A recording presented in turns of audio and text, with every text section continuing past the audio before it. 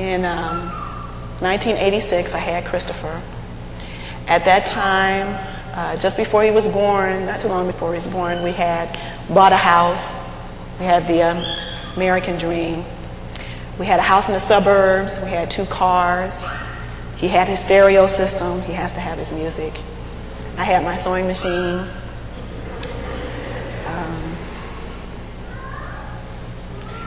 And we could buy the things that we wanted.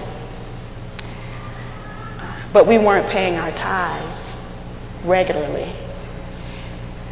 Um, after I had Christopher, um, I had went on maternity leave.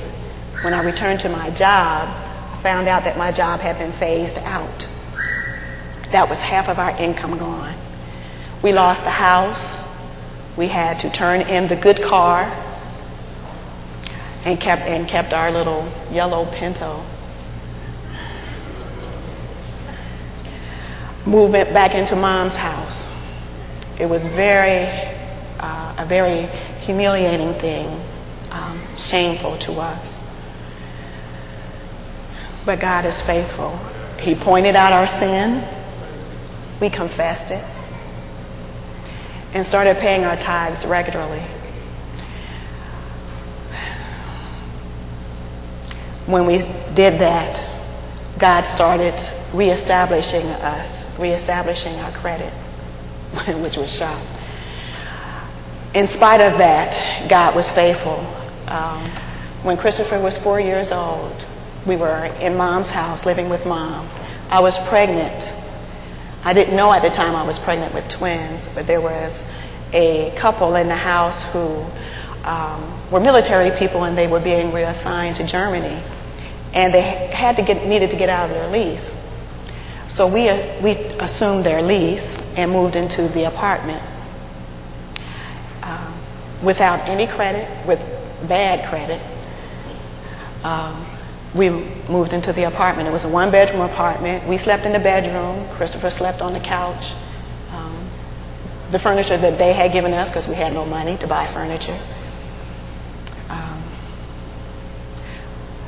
We lived in a, next door to a crackhead. And every now and then you could hear gunshots, but God kept us.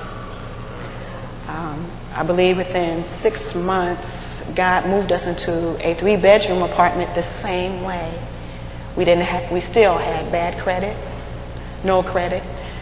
And another couple moved out of another apartment and we assumed their lease. God is faithful.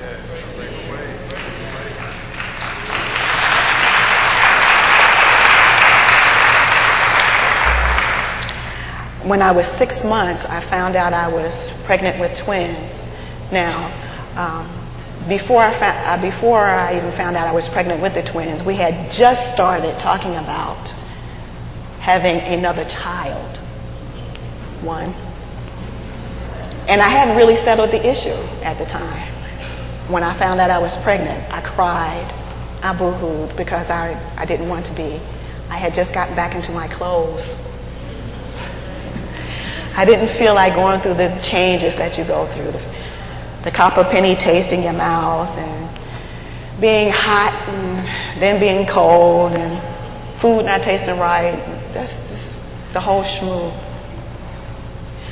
Um, but God had different plans, and I, I'm so happy for my children. I love them dearly, each and every one of them. um, but you sure cannot be a coward in being a mother. But I didn't want to make the same mistakes that my parents did. Uh, for a while, after Christopher got older, there were things that he would say and, and things in ways that he would respond to me that I did not like. And I did not respond the way that I needed to. I would get mad, I would holler at him. I didn't hit him, but I, I just, I didn't, couldn't understand why he was responding that way. When eventually God told me, he's just like you. So I said, Ooh, okay. So I had to change the way that I responded to him. and, I, and it helped me to see even where he was coming from, why he said the things that he said and did the things that he said, said because he's like me. And I saw myself doing that to my son, and I had to change. I had to submit to God to that. I didn't want him to be scarred or and I wanted to have a healthy relationship with all of my children. I want them to be able to come to me and talk to me about anything. To ask me a question at any time, even if it is convenient, even if I'm feeling grumpy at the time, then I cast it off on them, you know, not to go off on them.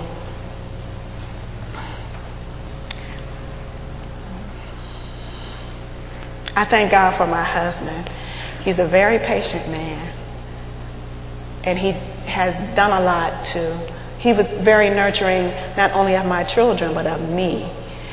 Um, taking the time uh, to point out things in my life that were harmful to me and to help me work through them.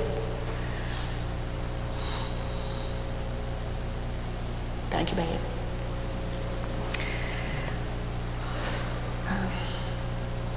Because of uh, the things that had went on before I left home to go to college, um, I had a strained relationship with my mother as well as my dad. I had stopped talking to my dad after he left because he left us.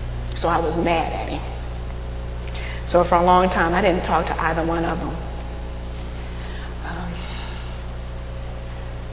when I found out about forgiveness and the need to forgive, um, I wrote my dad a letter asking him to forgive me because of uh, my reaction uh, to him leaving. Uh, that I wanted to start a relationship with him again. For 30 years, God let the tares and the wheat grow together. But in the time of harvest, he separated the tares from the wheat. I even had a chance to talk with his girlfriend a little bit. I don't hate her.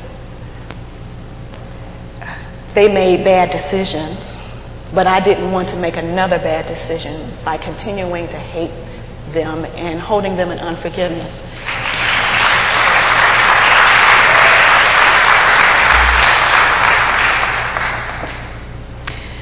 Now reconciled with the past, I'm ready for the future. I can pass a godly heritage to my natural and my spiritual children.